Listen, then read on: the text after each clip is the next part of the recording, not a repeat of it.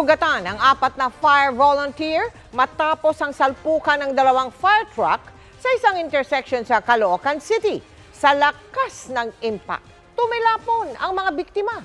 Ang nahuli kam na disgrasya, tinutukan ni James Agustin. Galing sa magkaibang direksyon pero parehong paresponde sa sunog ang dalawang fire truck sa Caloocan City pasado alas 10 kagabi. Pagdating sa intersection, nagkabanggaan ng dalawa.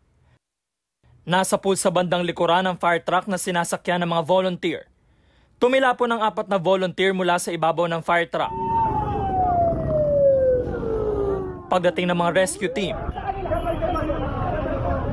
maingat na binuhat ang mga nasugatan. Dahan-dahan pag, pag-load. Isinugod sila sa ospital.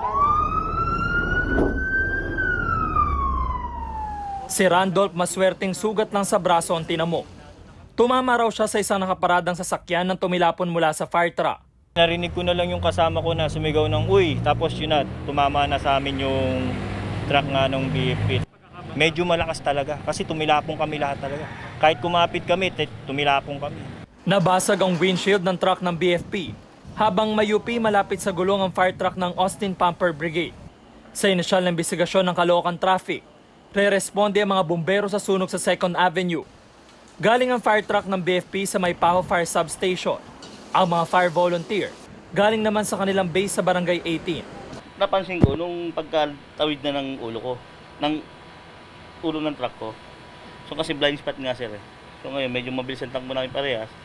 Siyempre responding nga kami ng sunog dahil hindi na na namin ng ano. Pero nag, kahit naman nung ganun ang takbo namin, meron kami tinatawag na mic sa para na natitimbran namin yung mga tao, nahahawi namin, wag muna tatawid, wala muna didiretso. parehas ah, nasa blind spot kasi sila eh. Hanggang sa dun sa intersection, medyo nagpang medyo nadaplesan ng konti yung fire truck namin. Nangako ang BFP na tutulong sa mga gastusin sa pagpapagamot ng mga nasugatan sa insidente. James Agustin, Nakatuto, 24 Oras. Hindi natutulog ang mga balita. Kaya para sa pinakasariwang balita, mag-subscribe kayo sa aming YouTube channel. Para sa mga kapuso abroad, pwede nyo rin kaming makasama sa GMA Pinoy TV at sa www.gmanews.tv.